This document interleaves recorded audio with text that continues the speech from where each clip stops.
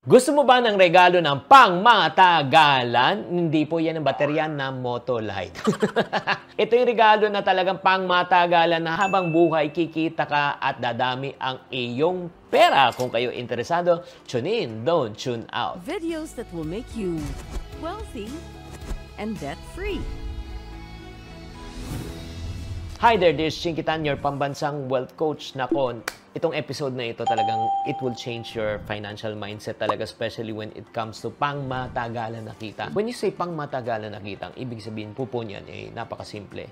Gusto ko magkaroon ka ng kita panghabang buhay. And the best way, pag ikaw ay magkumita ng panghabang buhay is to have what we call as investment. Ano bang ibig sabihin po ng investment? Ang investment po it means say money is already working for you. Number one kasi, you work for money. Tayo po ay nagtatrabaho, tayo, tayo nag-empleyado, tayo po ay nagbebenta at kumikita tayo. Tayo po ay kumikita dahil tayo po ay nag-active ng income po natin. Active income po yan. Ang sinasabi, money working for you. Darating ang panahon, kailangan po umabot tayo sa punto na ating kinabuhi, sa atong kinabuhi, na talaga ang kwarta na ang nagtatrabaho para sa aton. Yun po ay tinatawag natin na passive income. Oo. And the way that you can have passive income is through investment. And I believe, I believe, bawat ipunaryo, bawat Pilipino deserve na regaluhan ang kanilang sarili. Agree?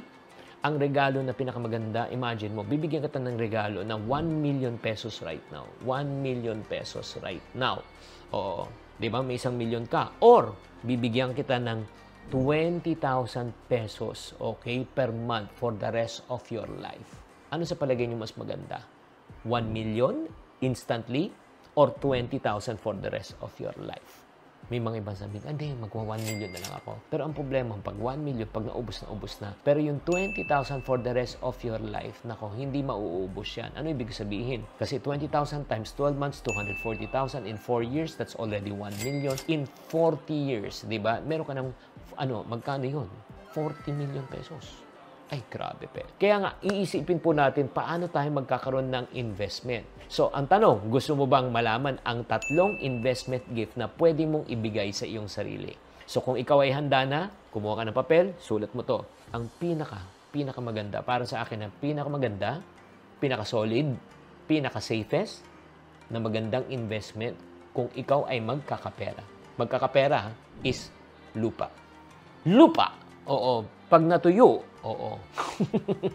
Hindi, lupa talaga. Isa ang lupa sa pinaka-best na investment dahil tumaataas po ang presyo ng lupa compared to the original price.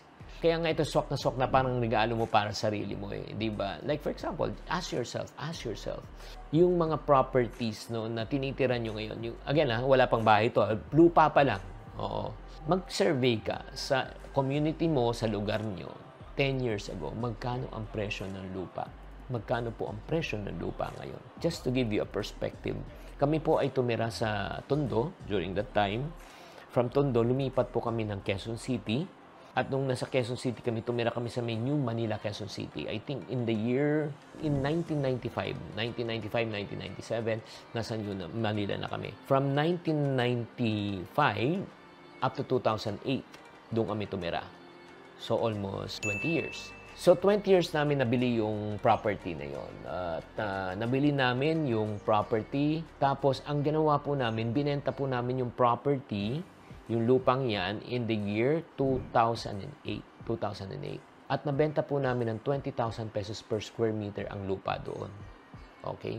So, to cut the long story short, that was 2008. Ngayon, 2024.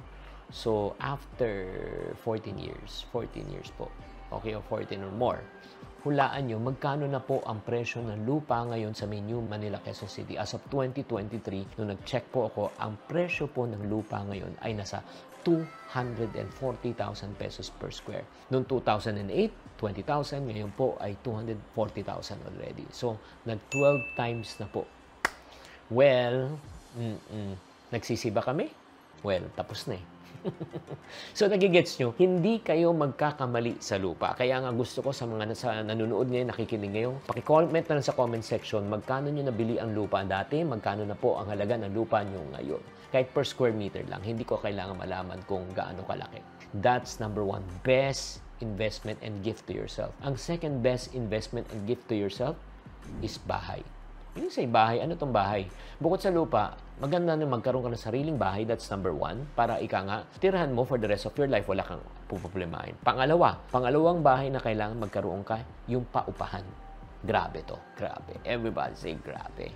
Sa pamamagitan nito, mabibigyan mo yung sarili mo na tinatawag na continuous income. Kada buwan may pumapasok na pera sa iyo. Hindi ba magandang bonus yan? Kahit tulog ka, kumikita ka, nagpahanda ka na pagdating ng panahon na ikaw ay nagkaedad na. Kahit di ka na magtrabaho, mangongolekta ka na lang. Oo, hindi ng tonga, kundi ng upa. Ma-enjoy mo yung retirement years mo.